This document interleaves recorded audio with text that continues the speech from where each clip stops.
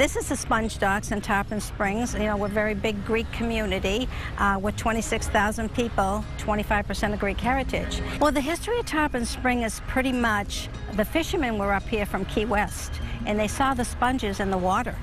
So they got a hold of some of the divers in Greece and they came over and they started with their diving boats and thus that's why all the stores now are all descendants of the sponge divers and the restaurants also. So it's quite a little community, you know. Hello, my name is Susan DeVita and I work here at the City Marina for the Visitor Center. When you come down here, you get to see the Greek culture.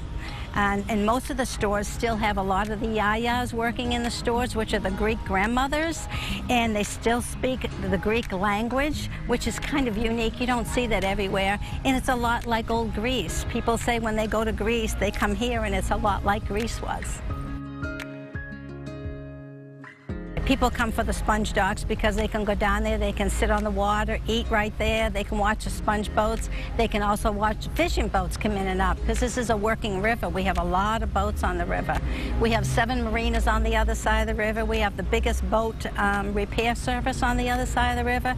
So people come and see all that and they love it. Down, the, down at the docks, a little further down, all the boats are all tied to the docks, all the sponge boats. People love to walk by and see the sponges hanging on the boats. It's really cool. And when a boat comes in, they're full of sponges. And people get to see them clean the sponges. They put them all over the docks, and people love that. It's really cool.